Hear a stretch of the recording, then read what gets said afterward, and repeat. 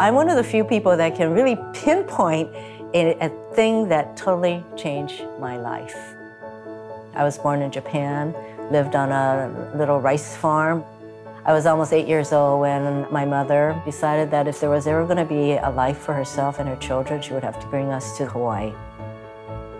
We came in steerage with one suitcase. That's how poor people come to our country. I had no idea what life would have in store for me. I grew up knowing how vulnerable our family was and that everything relied on my mother. But this was also a country that gave me opportunities, and I early on decided that I would do something that would be meaningful. I just didn't think that it was going to be politics. Because it is not the first thing that comes to mind that a woman, immigrant, that we should run for office. It takes a lot for a woman to get to the US Senate. Nobody hands these seats to us. And we're fighting very big battles to get to where we are.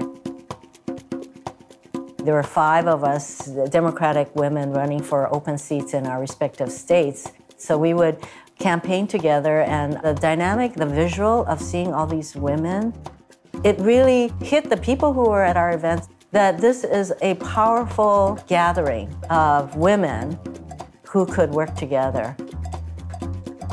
The women of the Senate. Take turns hosting dinners on a regular basis, bipartisan, and it is not to fight about issues, but it is really to be supportive, get to know each other, and we create those opportunities which the men don't do that much.